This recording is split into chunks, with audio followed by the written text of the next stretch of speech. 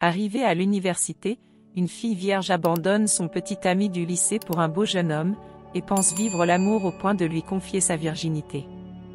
Mais, elle va être très déçue quand elle apprendra pourquoi il sort avec elle.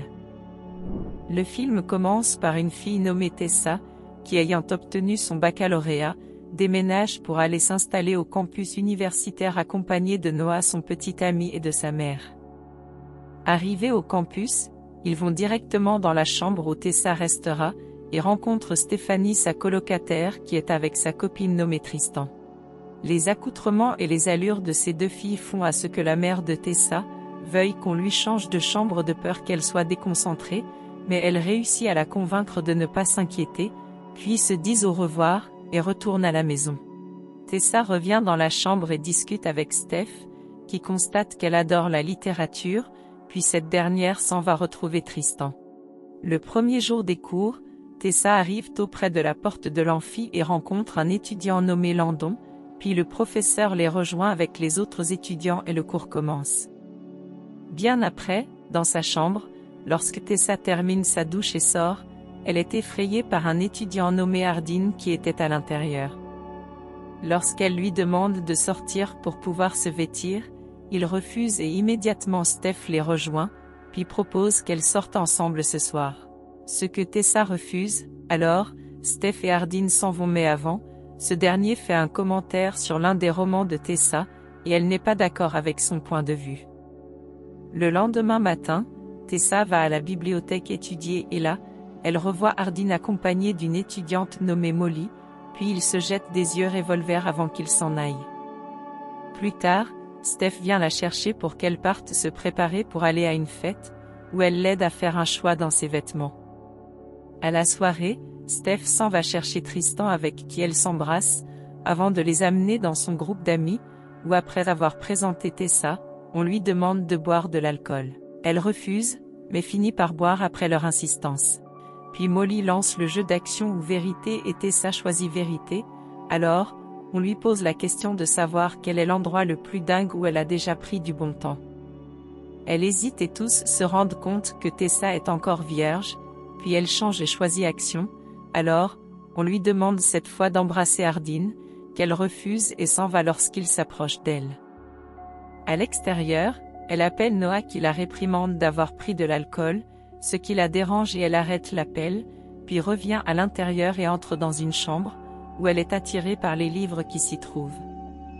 Lorsqu'elle prend un qui l'intéresse, Ardine la surprend et ils discutent par rapport au livre et par la suite, il veut une fois de plus l'embrasser et cette fois elle hésite avant de partir. À la maison, elle reçoit des messages de Noah où il dit être déçu d'elle et l'informe que sa mère ne veut plus qu'elle sorte avec Steph.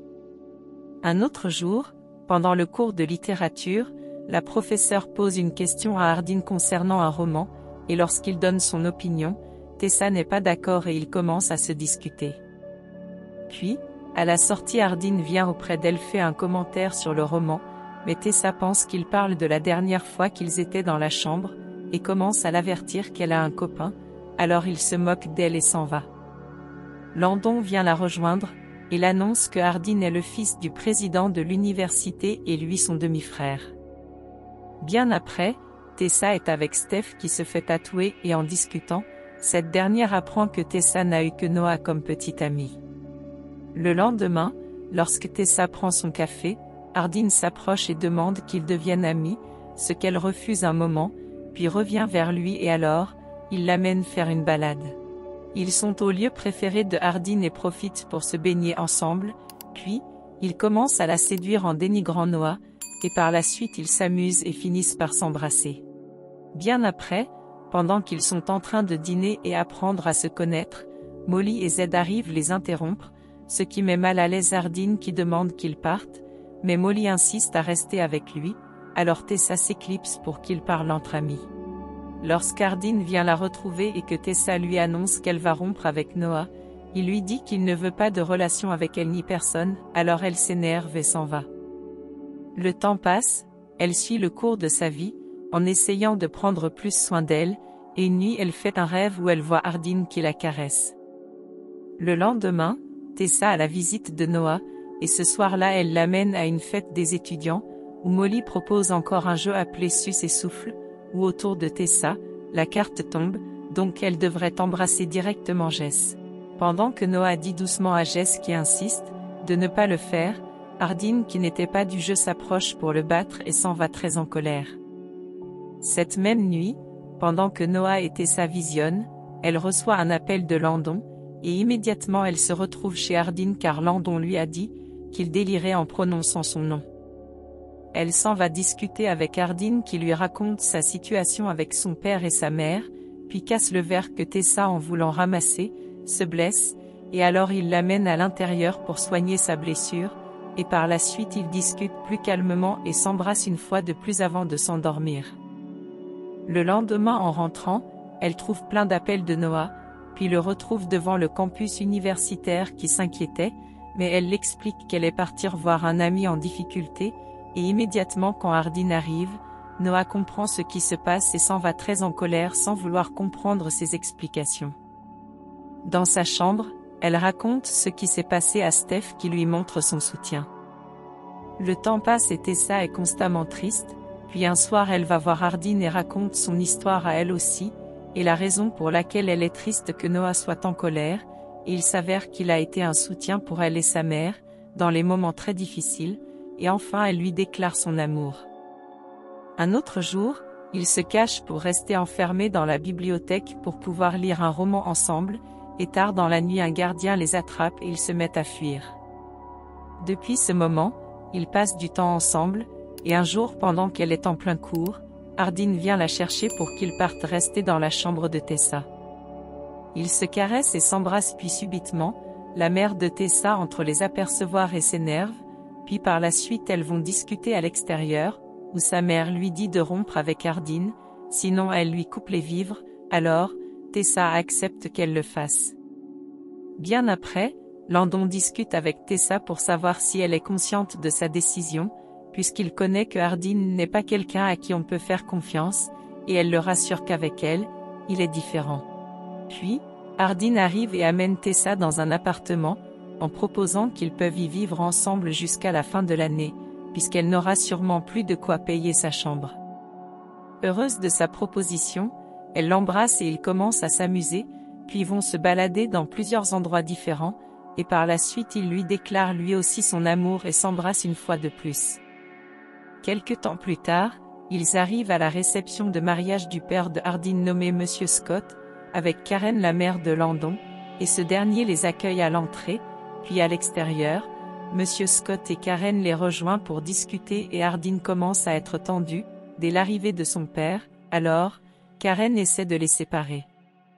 Ensuite, pendant le discours de Monsieur Scott qui remercie sa nouvelle vie et son épouse Karen, Hardin se met à raconter combien il en veut à son père pour ce qui était arrivé à sa mère, et lorsque Monsieur Scott s'approche d'eux pour essayer de parler à Hardin, mais il est une fois de plus désagréable et Tessa lui demande une danse pour les éloigner.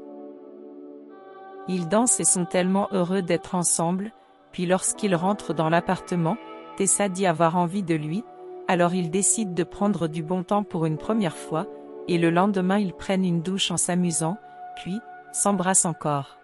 Un autre jour, après que Tessa ait fini son cours et qu'elle va dans la douche, Molly la suit pour essayer de savoir ce qui se passe en insinuant des trucs sur Hardin.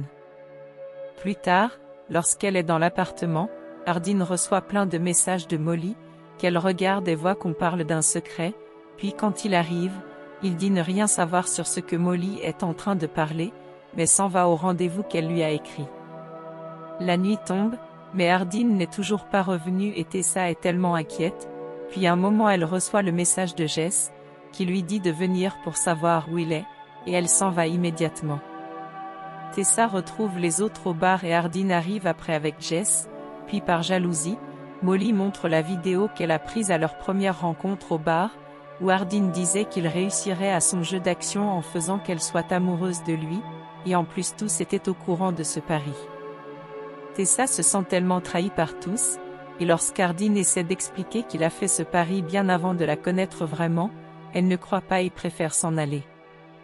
Le lendemain, elle va chez sa mère tout triste qui l'accueille à bras ouverts, puis lorsqu'elles en discutent, Tessa s'excuse et elle aussi, et par la suite elle va voir Noah pour s'excuser une fois de plus, et il le prend plutôt bien. Elle rentre à l'université, et essaie d'être plus concentrée et alors, elle commence à écrire la demande pour un stage, et pendant ce temps Hardin est très triste dans l'appartement en pensant à Tessa.